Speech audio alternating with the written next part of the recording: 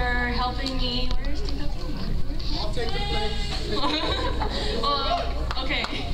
Tell her I say thank you for, for getting like the dresses for the cotillion girls and the ties for all the guys and, and all the like the little souvenirs. Um, I want to say thank you to Ninang Ganda for helping teach the cotillion and coming to Arizona and staying for over a month to help us out doing some last minute things.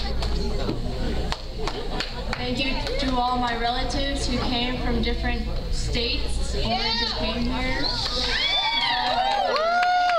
I want to say thank you to all my friends out there too who came.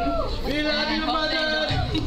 Love you guys too. Hope you guys enjoyed it. I want to say thank you to my cotillion, who are like my really close friends, who would sacrifice sleep in the summer in the summer to come to my house at 8 in the morning to dance for three hours every day for a month.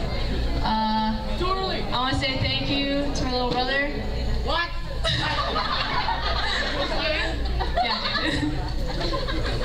I want to say thank you. Oh my gosh, don't. don't Mañana's not gonna say. I want to say thank you to my parents. Oh my God.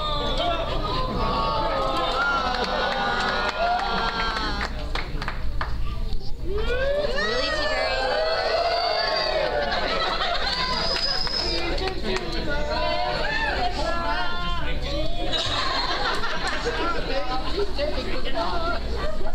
for raising me and like tell me, uh, shaping me of who I am for the past 18 years.